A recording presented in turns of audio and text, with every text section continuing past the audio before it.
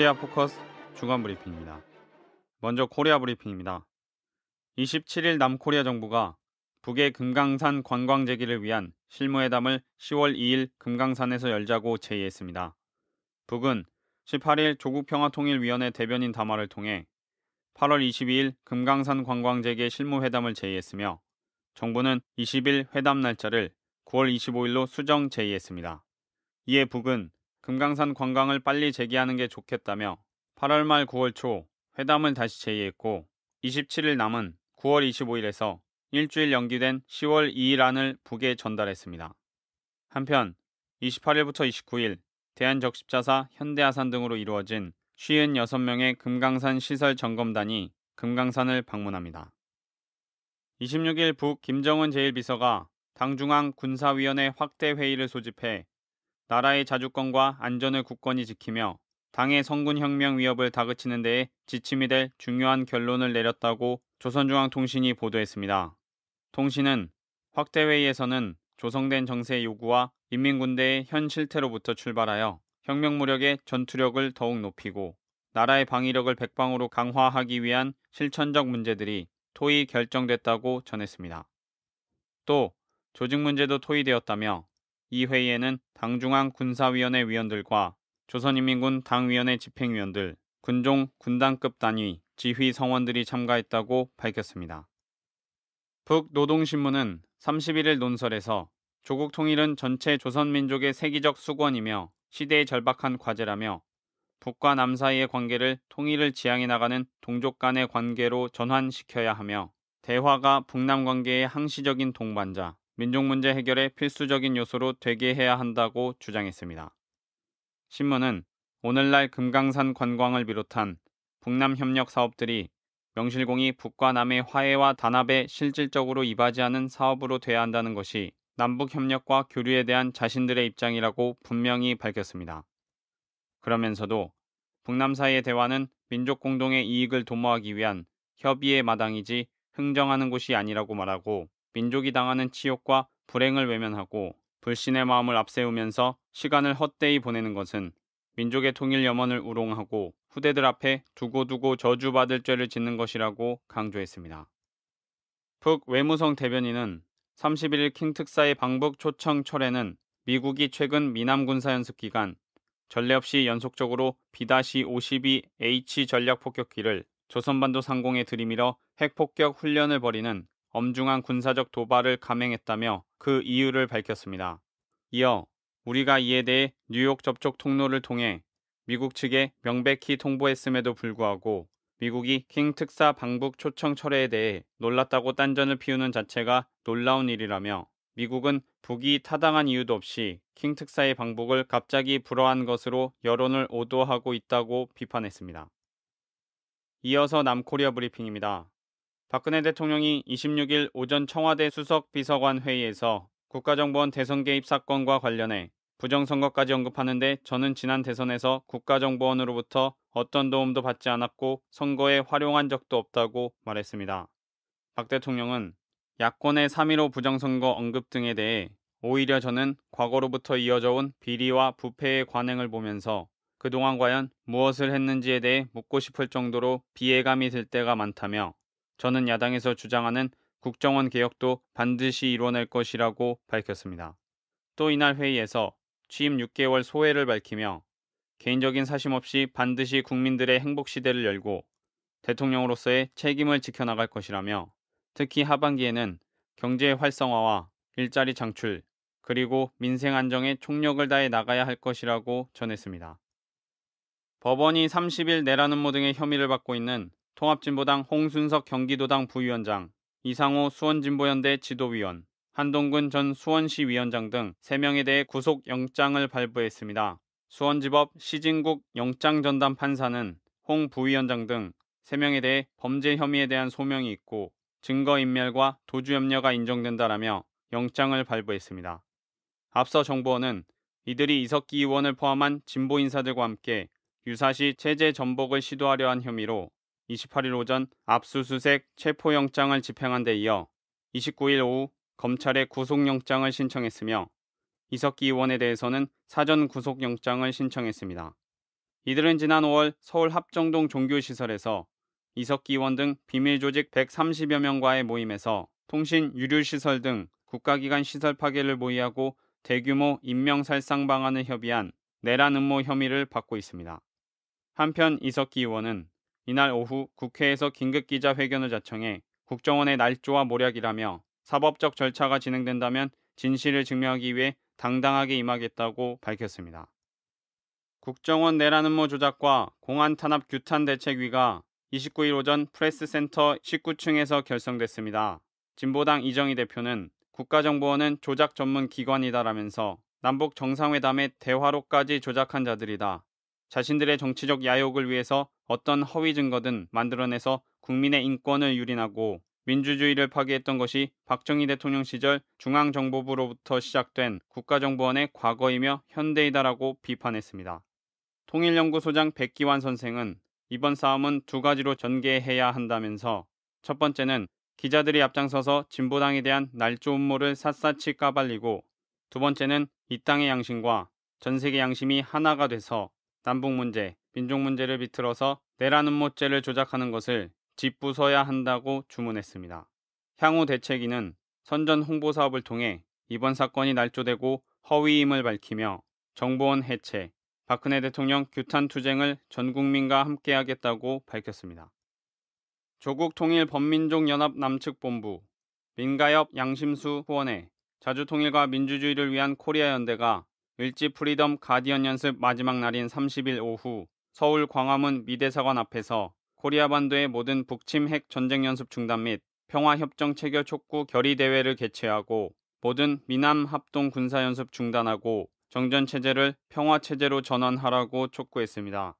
범민련 남측본부 이천재 고문은 미국은 분단 이후 지금까지 반세기가 넘게 긴장과 대결 속에서 핵전쟁 노름을 했다면서 미 대통령이 한반도에서 핵전쟁 카드를 올려놓았다 내려놓았다 반복하는 것이 지금까지의 역사라며 미군의 역사를 비판했습니다.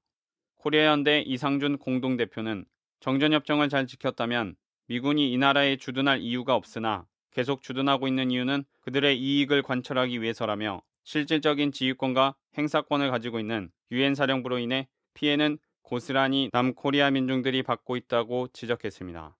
끝으로 참가자들은 결의문을 통해 정전협정 대체하는 평화협정 체결, 새로운 평화보장 체계의 수립, 을지 프리덤 가디언 연습 중단, 북침 핵전쟁 연습인 합동군사 연습 계획 모두 폐기, 핵무기를 비롯한 어떤 무기도 남에 반입하거나 구매를 강요하지 말 것, 유엔 사령부 해체, 주남미군 철수 등을 촉구했습니다. 29일 남해 한국정신대 문제대책협의회 등 6개 단체와 북의 6.15 공동선언 실천 북측위원회 여성분과위원회 등 4개 단체를 비롯한 북남, 남북 총 10개의 여성단체가 중국 심양에서 일본군 위안부 문제 해결을 위한 실무대표단 회의를 진행하고 11월 초 일본군 성노예 문제 해결을 위한 남북 해외 여성 토론회를 열기로 결정했습니다. 이날 회의에서 참가자들은 일본 정부가 일본군 성노예 범죄의 국가 책임을 부인하고 공식 사죄와 법적 책임을 이행하지 않는 가운데 오히려 군국주의 부활을 시도하는 데 대해 우려와 분노를 표시하며 이에 대응하는 연대 활동을 벌여나가기로 하였습니다. 또 남과 북의 여성들이 우리 민족끼리의 기치 밑에 제2의 6.15 시대를 열어나가기 위한 접촉과 다양한 활동들을 앞장서서 추진해 나가기로 하였습니다. 끝으로 국제브리핑입니다. 26일 북코리아를 방문한 중국 우다웨이 육자회담 수석대표가 30일 귀국했습니다. 우다웨이는 27일 김계관 외무성 제1부상과 면담했으며 28일에는 조국 해방 전쟁 승리 기념관을 참관하고 5일 경기장에서 아리랑 공연을 관람했으며 29일에는 김일성 주석과 김정일 국방위원장의 시신이 안치된 금수산 태양궁전을 참배한 것으로 전해졌습니다. 미국 현지 시간 28일 뉴욕타임즈가 이석기 의원의 내란 예비 음모 사건을 집중 보도했습니다. 외신은 정치인들이 이번 사태를 박근혜 대통령의 보수 정부가 국정원에 연루된 최근의 스캔들로부터 국민의 관심을 돌리고자 마녀 사냥이라는 패를 내놓았다며 이번 내란 예비 음모죄가 극히 이례적인 돌발적 압수수색이라고 진단하고 내란죄 적용은 그렇지 않아도 세력이 막강한 국가정보기관에 의한 정치 개입 혐의로 시끄러웠던 전국을 다시 한번 뒤흔들어 놓았다고 분석했습니다. 뉴욕타임즈의 보도는 28일 남코리아에서 상황이 일어난 다음날 이례적으로 신속하게 보도한 것으로 국제적으로 이번 사태에 대한 긴급성을 주목하고 있다는 평가입니다. 시리아 왈리드 무알렘 외무장관이 지난 29일 기자회견을 열어 미국이 공격한다면 시리아는 가능한 모든 수단을 써 방어에 나설 것이며 이는 세계를 놀라게 할 것이라고 밝혔습니다. 무알렘 외무장관은 시리아는 항복하거나 맞서 싸우는 두 가지 선택권이 있는데 후자를 택할 것이라고 경고했습니다. 또 미국이 주도하는 전쟁 시도는 이스라엘과 알카에다 연계 세력인 알누스라 전선을 이롭게 할 것이라고 말했습니다. 이어 시리아 정부군 관계자는 30일 이란 뉴스 통신 파르스와의 인터뷰에서 시리아의 수도인 다마스쿠스가 공격을 받는다면 이스라엘의 수도 텔 아부비도 타겟이 될 것이라고 밝혔습니다. 지난 29일 러시아 하원국제문제위원회 위원장 알렉세이 푸슈코프도 이라크 전쟁과 마찬가지로 시리아 군사 개입은 합법적인 것이 될 수 없으며 오바마는 부시의 복제품이 될 것이라 밝혔습니다. 23일 중국 외교부도 최근 시리아에서 최악의 화학무기 참사가 발생한 데 대해 조사를 통해 진상이 드러나기 전까지 관련국은 예단을 피해야 한다는 입장을 밝혔습니다. 러시아 이타르타스 통신은 30일 최소 12개의 나토 회원국이 유엔 안보리의 승인 없이 시리아 군사 공격에 가담하지 않겠다고 보도했습니다. 통신은 유엔 관계자의 말을 인용해 러시아는 군사 개입이 아닌 정치적 협상으로 시리아 사태를 해결하기 위한 노력을 계속해야 하며 이를 위해 제2차 제네바 국제평화회의를 소집해야 한다고 주장했다고 전했습니다. 영국 하원이 29일 영국 정부가 제출한 시리아 제재 동의안 승인을 거부했습니다. 표결 결과 반대 285표, 찬성 272표로 나타났으며 정부안이 부결된 데는 집권당인 보수당 내부표가 이탈했다는 분석입니다. 필립 하몬드 영국 국방장관도 중동 개입에 대한 깊은 회의론이 있다고 밝혔습니다. 나토도 화학무기 사용을 비난하면서 명백한 증거 없는 무력 사용에 반대한다는 입장을 표시했습니다.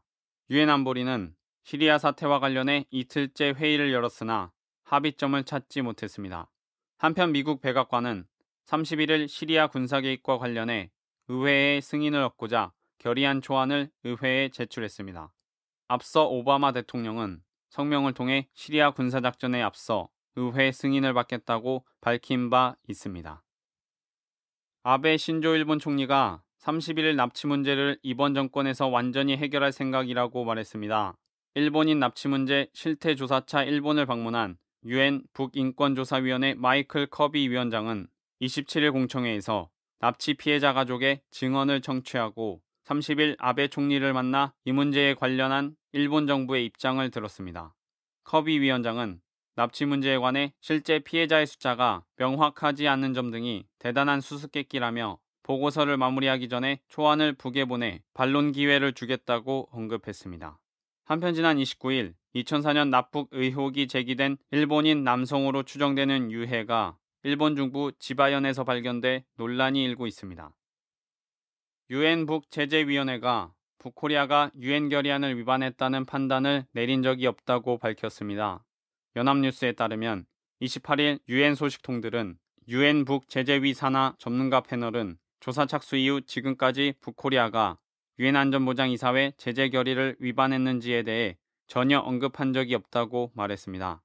또 이들은 파나마 정부가 청천강호에 실린 화물은 의심의 여지 없이 유엔 제재를 위반했다는 성명을 발표한 것에 대해 파나마 정부 측에도 조사 과정이나 내용은 물론 재재결 위반 여부 등 민감한 사안에 대해 전혀 알리지 않았다며 파나마 정부가 이러한 내용을 전문가 패널로부터 보고받거나 전달받을 위치에 있지도 않다고 지적했습니다. 유엔 북제재위원회는 9월 초 회의를 열어 청천강호가 유엔 제재 결의를 위반했는지를 논의할 예정입니다. 코리아 포커스 주간 브리핑이었습니다.